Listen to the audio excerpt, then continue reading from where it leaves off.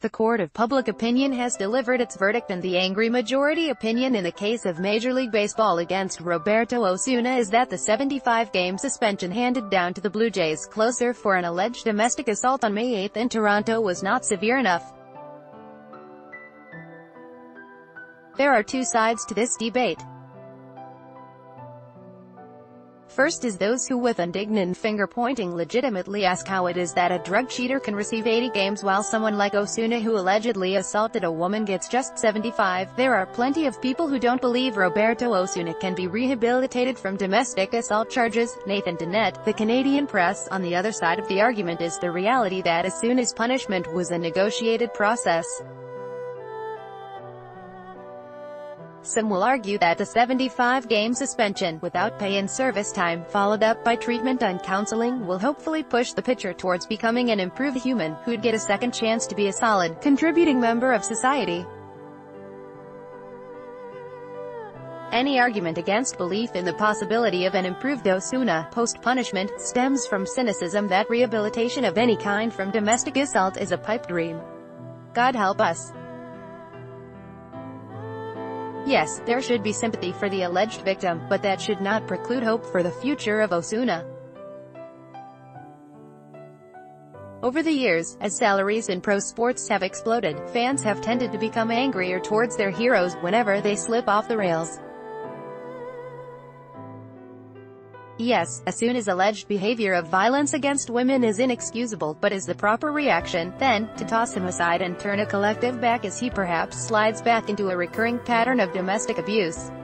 Or is it to discipline him within a policy negotiated with the union, trying to improve him as a human? Article continued below Make no mistake, this will cost Osuna millions as well as his 75 games on the sidelines. He loses about $2.8 million in salary for 2018. In addition, his arbitration cases the next three winters have been considerably weakened. He will also find it very difficult no matter his future success to find lucrative endorsements. The lost service days mean free agency will arrive following the 2021 season and not 2020. On the upside, there's the counseling and education. It may be argued that some of the problem was a cultural gap for Osuna, but now he will know what is expected. Read more. Blue Jays Roberto Osuna suspended, 75 games opinion, Rosie DiManno, why I have pity for Roberto Osuna. Might be domestic abuse investigations player team games here Jose Torres Padres 100-2018 article continued. Belo Hector Olivera Braves 82-2016 Roberto Osuna Blue Jays 75-2018 Jose Reyes Rockies 51-2016 Aroldis Chapman Yankees 30-2016 Jeurys Familia Mets 15-2016 Steven Wright Red Sox 15-2018 Yasiel Puig Dodgers 0 2016 Miguel Sano Twins 0 2018 Asterisk Derek Norris FA Sept 2017 asterisk Norris was released by the Tampa Bay Rays in late June, then in September, was suspended by MLB for the rest of the season.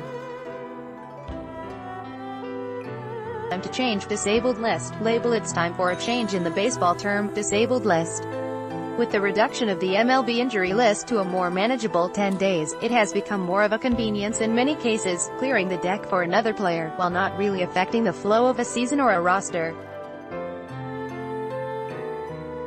When the Blue Jays on the weekend placed two starting pitchers, Aaron Sanchez and Jamie Garcia, on the 10-day DL, fans gnashed their teeth and cast shade on the medical staff, asking why does this always happen to the Jays and are the high-performance people incompetent?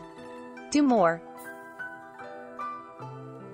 Disabled players. Yikes, the fact of the matter is the Jays front office had been trying hard to figure out how to return Marcus Stroman to the active roster for his Saturday start and to get Sam Gaviglio back from the paternity list with the least disruption.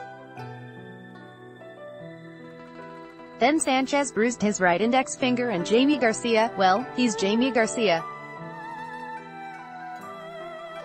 A 10-day shoulder injury basically means Garcia can miss just one start surrounding an off day. These things used to happen in the past but without being able to utilize the DL, when the minimum was 15 days. It's become easier. If the Jays like the rotation as it is, then they can leave Garcia on the DL for a longer stint. The bottom line is the veteran lefty has a guaranteed $10 million contract and cannot be sent to the minors for the same 10-day period. Same result minus any risk. As for Sanchez, his bruised index finger would have meant missing at least one start anyway, so now instead of making a decision on an existing reliever, having to send someone back to the minors, they can take the Sanchez roster spot for one start and if his finger is healed he returns on July 2nd versus the Tigers. In addition, the Jays managed to get an important look at highly regarded left-hander Ryan Borucki as he makes Tuesday's start versus the Astros. If he performs well, they can then move forward in exploring the market for J.A. Happ. As for the term, disabled, there are segments of society that see it as improper or even offensive. So if fatigued shoulder or bruised finger is disabling, no. How about DL standing for deactivated list? That is more precise and would surely cause less panic among hand-wringing fans but not more wins. Richard Griffin is a sports columnist based in Toronto. Follow him on Twitter, at a Griffin Star.